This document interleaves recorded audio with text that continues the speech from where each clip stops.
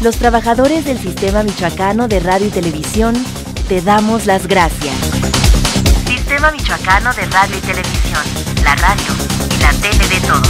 Estamos llegando a los 15 mil juguetes, que es la meta que nos habíamos propuesto.